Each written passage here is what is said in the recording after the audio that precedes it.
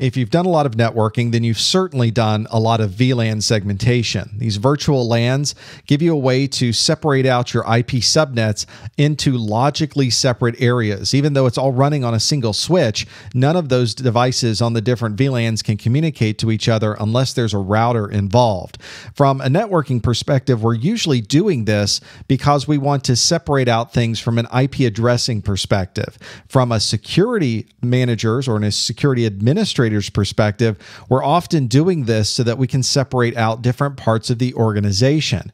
You might want to put the HR department on one VLAN. You might want to put the shipping and receiving department on a completely different VLAN. So now you're allowing your firewall or your router or your firewall that is acting as a router to be the gatekeeper to prevent the HR people from directly communicating to the folks in shipping and receiving and vice versa. There's maybe sensitive information on the HR servers, and that would give us yet another way to provide some control over the traffic going back and forth over our network.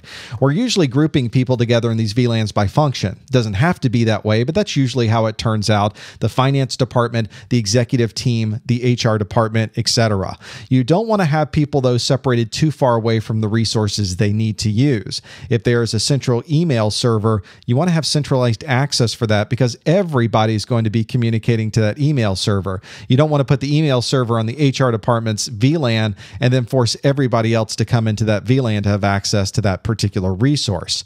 These VLAN communications and automatically putting people into different VLANs is very often integrated with our network access control. You recall the last video we did, we talked about getting access to the network using 802.1x. Once you get your credentials and you're authenticated onto the network, your network access control system can be set to automatically put you in the correct VLAN, doesn't matter what switch port you happen to be plugging into. That's pretty flexible. And from a security perspective, really provides us with a way to make sure that we're keeping people segmented onto the VLANs that are very specific to their job function without any way to manage where somebody's plugged in on a VLAN, it becomes a little more difficult to manage. If all we had was a single switch and everybody on that switch was on one VLAN, we would not only have to logically separate, but really physically separate everybody onto their own switch. You'd have red VLAN on one switch, the green VLAN on another switch, and the blue VLAN on a third switch. And if we wanted to, to communicate between those, we everybody would go up to a router and then be sent down to the VLAN they wanted to talk to. With VLAN management, we can mix and match. We can have different VLANs on different switches. We can assign either automatically or manually individual ports to be members of certain VLANs. We have a port for the green VLAN here, on another completely different switch, a port for the green VLAN here. And because we're building these communication links between the two switches called trunks, we're able to send green VLAN information between all of those devices and blue VLAN information between all of those devices without having having to route anything.